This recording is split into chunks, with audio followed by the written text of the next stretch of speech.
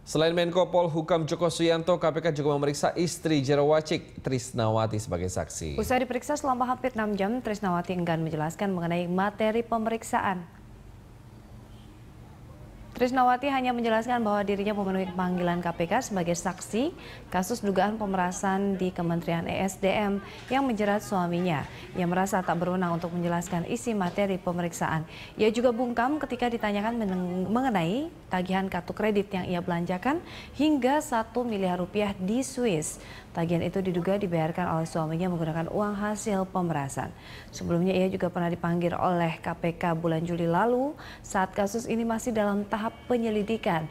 Pada 2 September lalu Jarwacik ditetapkan sebagai tersangka dalam kasus dugaan pemerasan di Kementerian ESDM periode 2011 hingga 2013 yang merugikan negara hingga 9,9 miliar rupiah.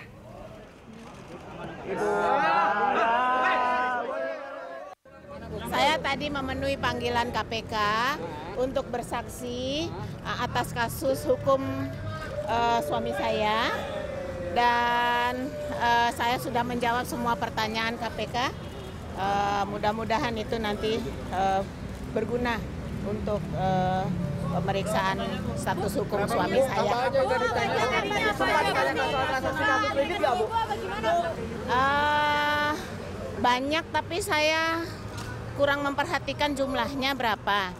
Uh, saya rasa lebih baik ditanyakan ke KPK ya, karena bukan wewenang saya untuk mempublikasikan jawaban saya.